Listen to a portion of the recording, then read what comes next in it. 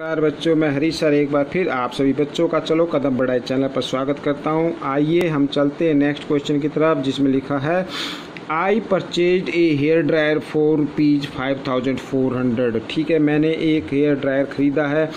Five thousand four hundred rupees का including eight percent VAT उसके अंदर इंक्लूडिंग है एट परसेंट वैट उसके अंदर इंक्लूडिंग है।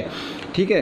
तो find the price before VAT was added यानी वैट एडिड करने से पहले उसकी प्राइस क्या थी, वो हमें फाइंड करना है। बिल्कुल इजी क्वेश्चन है। जैसे हमने लास्ट क्वेश्चन किया बिल्कुल ठीक वैसे ही हम इसको निकालेंगे। ठीक है? सबसे पहले प्राइस निकाल लेते, लिख लेते हैं। हेयर ड्रायर की प्राइस क्या है? Price of a hair dryer ठीक है? Price of a hair dryer is equal to rupees five thousand four hundred ये है। अच्छा इसमें जो वेट इंक्लूडिंग है, वो भी हम लिख लेते हैं। वेट इंक्लूडिंग है इसके अंदर एट परसेंट तो आपको बच्चों वही फॉर्मूला फाइंड आउट करना पड़ेगा, जो मैंने लास्ट क्वेश्चन में लगाया है, उसी को याद कीजिए और उसी को इसमें लगेगा वो। उसी फॉर्मूले से हम इस क्वेश्चन को सोल्व करेंगे। ठीक है बच्चों? अच्छा मैं यहाँ पर लिख देता हूँ। कॉस्ट प्राइस या प्राइस लिख देते खाली। Price of a hair dryer को price of a hair dryer ठीक है बच्चों? Before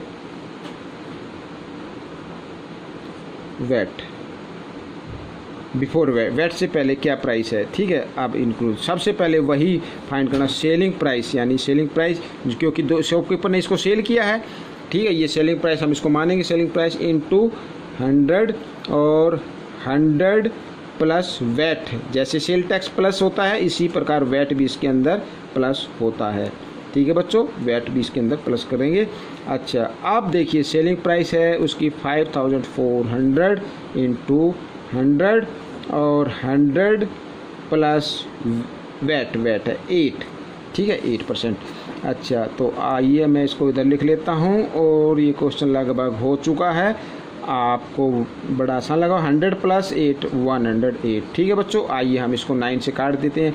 नाइन वन जा नाइन नाइन टू जा एटीन नाइन से हो गया नाइन सिक्स जा फिफ्टी फोर ये आ गया ट्वेल्व से इसको सीधा काटते ट्वेल्व वन जा ट्वेल्व ट्वेल्व फाइव जा सिक्सटी और ज़ीरो ठीक है बच्चों, आप ये देखिए फाइव वन जा five one two three three zero लगा दी थ्री ज़ीरो आ गई इसमें। तो उसकी जो कोस्ट थी ठीक है वेट लगने से पहले जो कोस्ट थी, हेयर ड्रायर की, वो थी फाइव थाउज़ेंड। तो ये फाइव थाउज़ेंड जो है, ये आपका आंसर आ चुका है।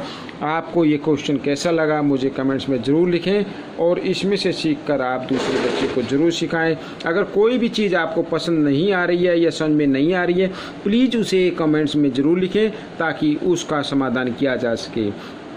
तो बच्चों, इसमें से सीखकर आप दूसरे बच्चे को ज़रूर सिखाएँ। चलो कदम बढ़ाएँ, देश को शिक्षित बनाएँ। मिलते हैं अगले पार्ट में, तब तक के लिए धन्यवाद।